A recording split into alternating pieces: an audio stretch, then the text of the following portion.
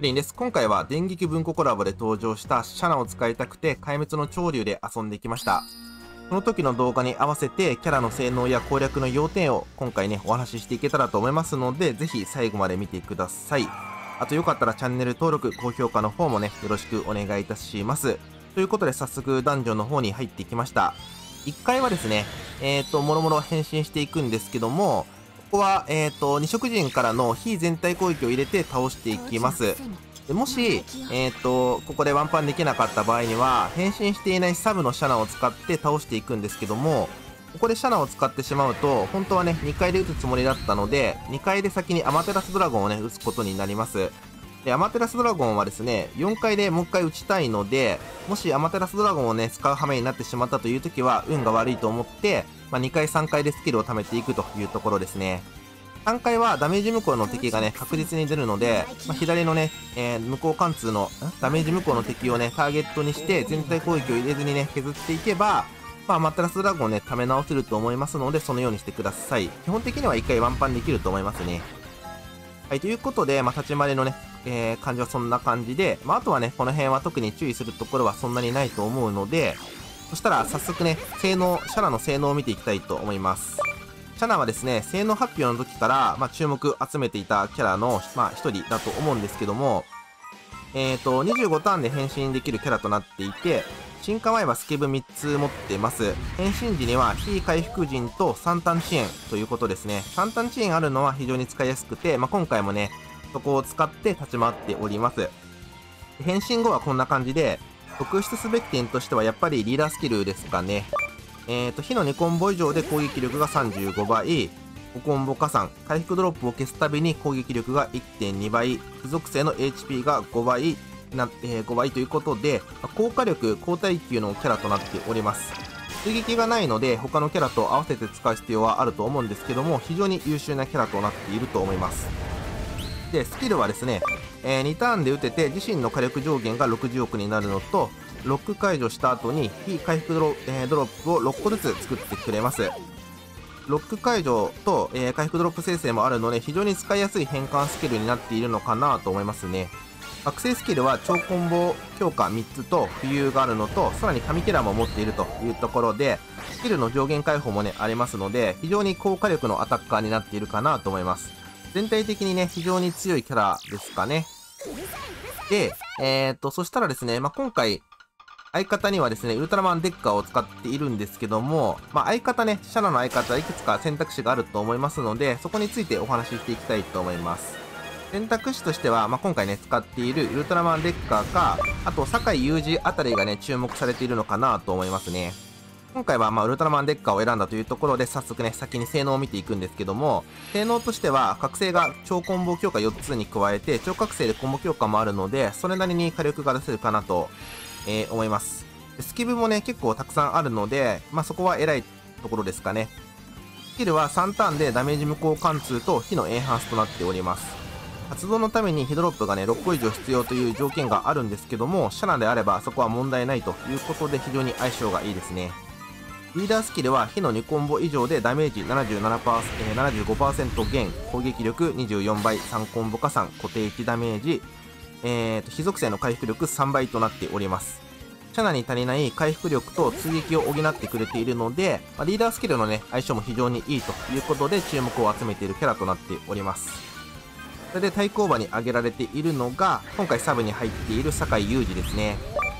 えーと、このキャラは22ターンの変身キャラとなっていて、スケブが3つあります。変身時は3ターンヘイストがあるので、変身キャラでね、が多いパーティーでも非常に使いやすいんじゃないかと思いますね。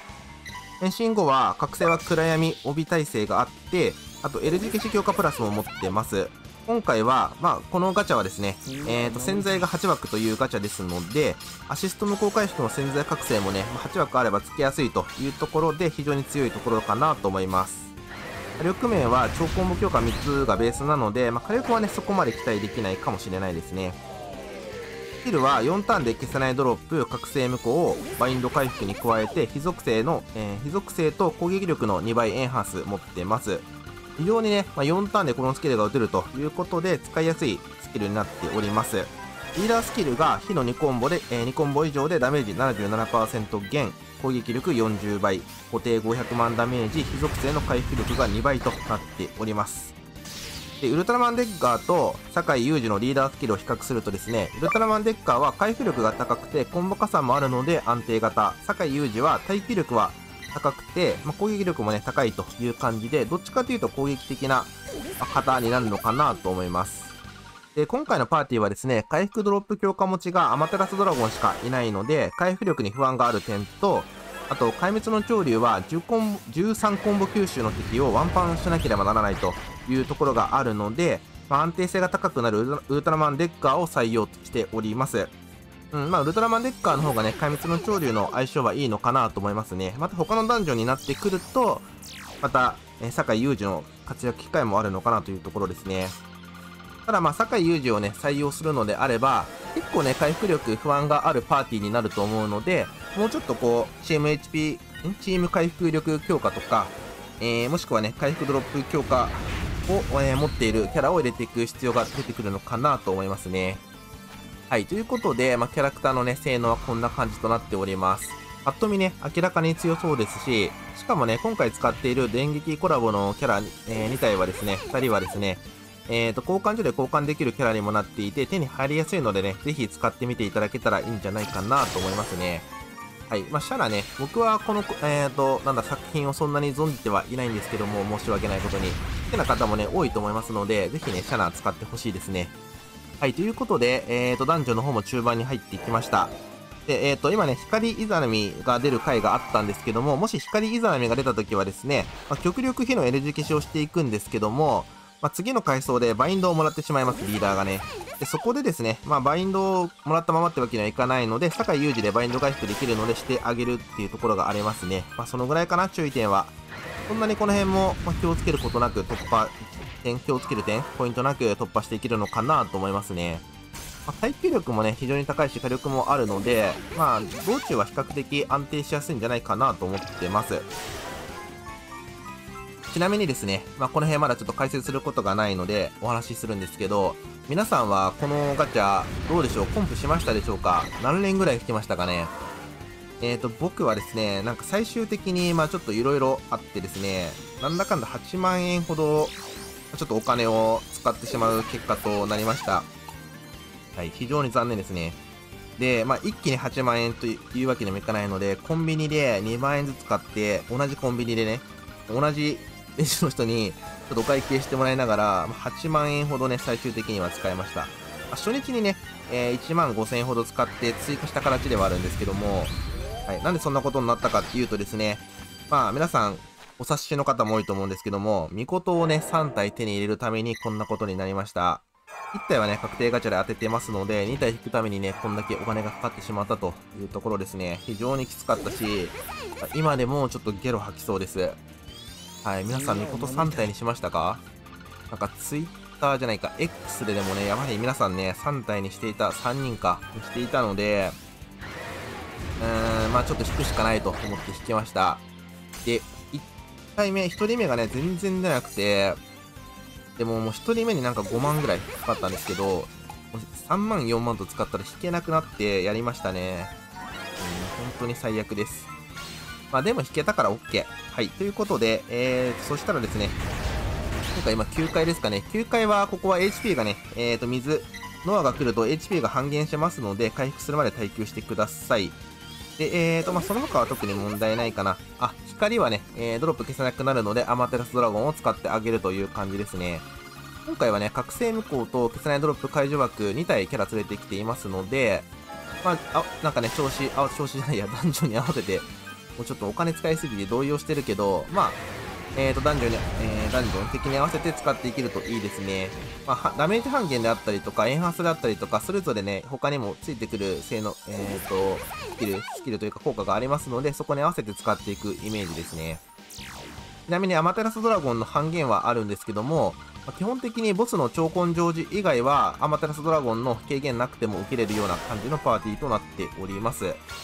ただまあね、回復力が心配とかで、例えばゼラとかヘラの先生に対して使っておくと、ダメージ抑えられて回復が楽になるっていうこととかもありますね。まあそんなに気にしなくて大丈夫です。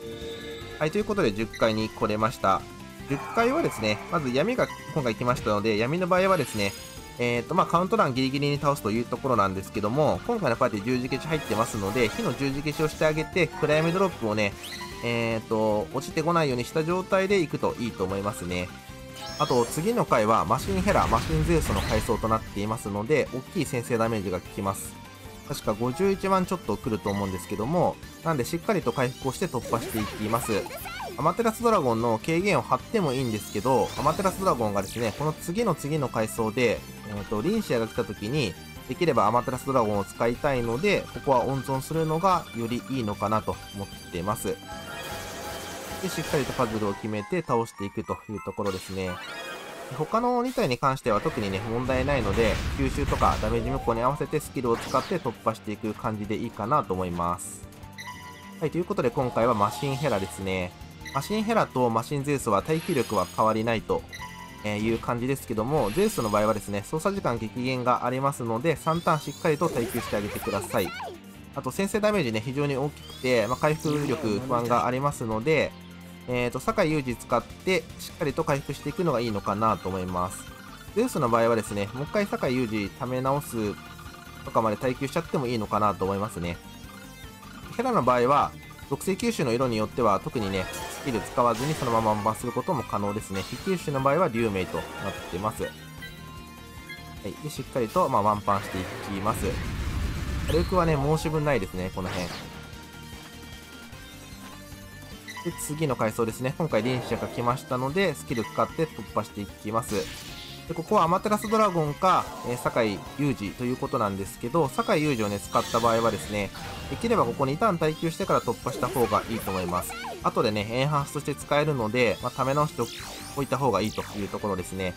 ただ3ターン目の行動は毒花火なので、今回毒弾けないので、必ずね、3ターン目には倒してくださいというところですね。相手は木ということで、まあ、ワンパンはね、余裕なので、パズルさえミスらなければ、まあ、大丈夫かなと思っております。まあ、そもそもね、パズルミスったら、まあ、軽減貼れなくてやられてしまうと思うので、まあ、基本的には3ターン目に倒すでいいのかなと思いますね。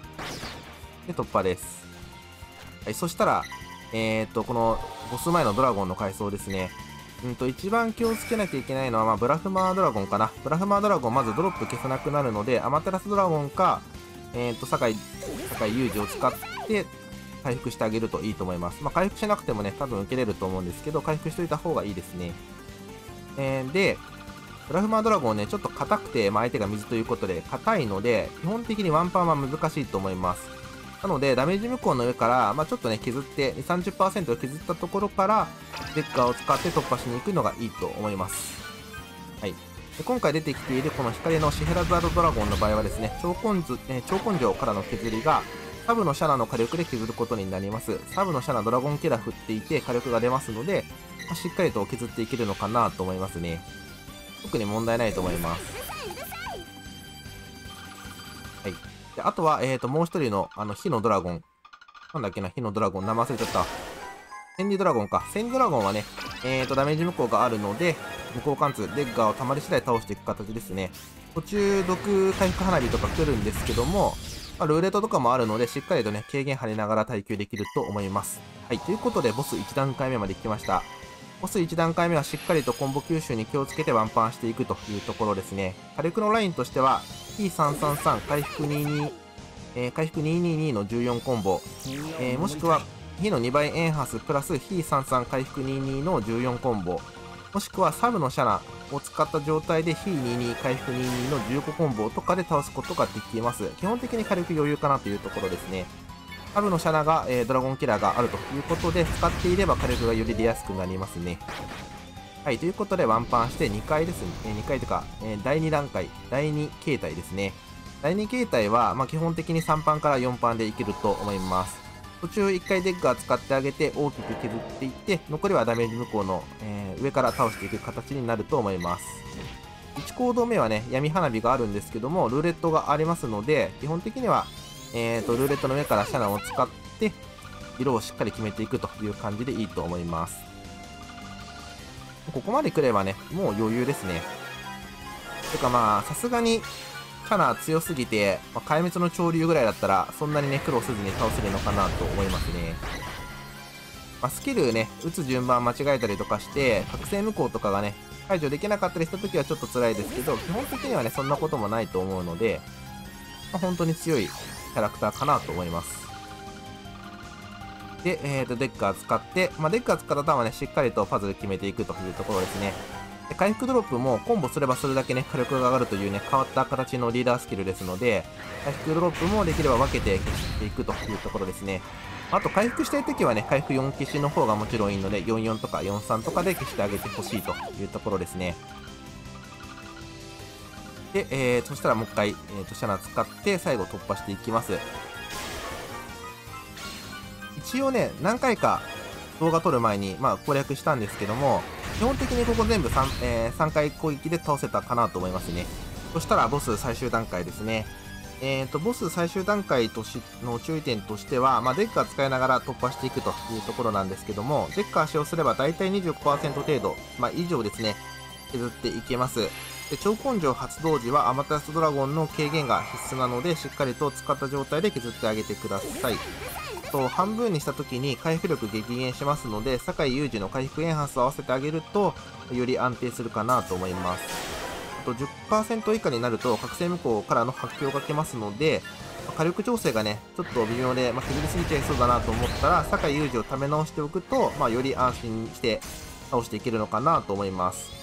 あと、竜明の継承スキルがね、この辺りで溜まってきてると思うんですけども、まあ、2ターンヘイストのね、スキルとなってますので、まあ、随時ね、使ってもらえたら、まあ、最後に使うのがいいですかね、使ってもらえたらと思います。デッガーね、2ターン連続で使えるようになるので、非常に2ターンヘイストここであるとね、強いというところで、ため直しておけるといいと思いますね。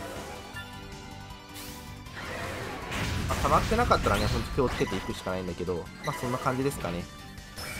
あとはルーレットのね、えっ、ー、と、前の回答からもらっているルーレットがね、残り1ターンのところで半分に持っていかないっていうところも注意していければいいかなと思います。まあ、スキル貯めながらなんで、基本的にはそんなことはないと思うので、そこは大丈夫かというところですかね。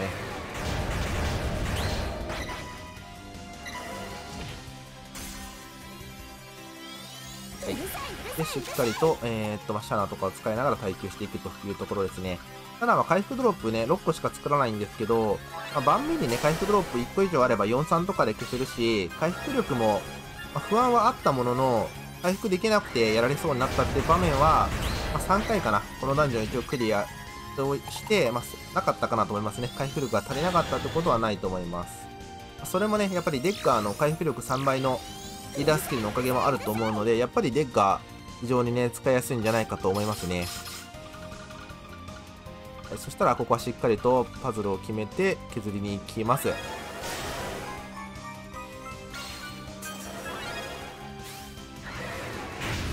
い、これで HP50% 切りましたね。で、大ダメージが飛んでくるんですけども、アマタラスドラゴン打っていますので、問題なく受けれると。全然食らわないですね。まあ、正直ここ回復力激減してますけど、酒井裕二合わさなくても全然 HP 余裕かもしれないですね。うん。使わなくてもいいかもしれない。そのぐらい余裕かも。まあ、ポテドロップね、動かしたりして HP 削れるのを懸念するのであれば、今回みたいに使っておくと間違いはないですかね。はい。しっかりと回復してあげて、またスキル貯めていくというところですね。ということで、まあ動画も締めの方に入っていきたいんですけども、あの、電撃文庫コラボのキャラね、他にも優秀なキャラがいて、まあ、他の動画もね、撮りたいと思ってますので、ぜひね、今後も楽しみに待っていただけたらと思います。で、よかったらね、チャンネル登録と高評価もね、ぜひ、まあ、一人でもね、増えたら本当に僕嬉しいので、していただけたらと思います。とりあえず僕はミコトを3体当てましたので、3人か当てましたので、ミコトのね、動画を次ちょっと上げたいなと思ってるんですけど、いうことね、でも皆さん結構使ってるから、パーティーがね、もう、なんだろう、X とか、まあ、YouTube 上に溢れてるのかなと思うので、まあ、被ってしまうところもあると思うけど、とりあえずね、お金使って当てたから使いたいなと思ってますね。あと他にも全然優秀なキャラいるので、まあ、そのキャラも動画上げれたら嬉しいなと思ってます。はい。ということで、ここは削っていって、HP がね、思いのが削れてしまって覚醒無効もらったんですけども、今回、竜明のね、ヘイストの継承スキル溜まってますので、最後、竜明使って、他のスキル使っ、えっ、ー、と、覚醒無効と、ダメージ無効貫通を使って倒しに行くというところですね。はい。変換して、デッカー使って倒していくという感じですね。はい、OK。で、最後パズル決めていきましょう。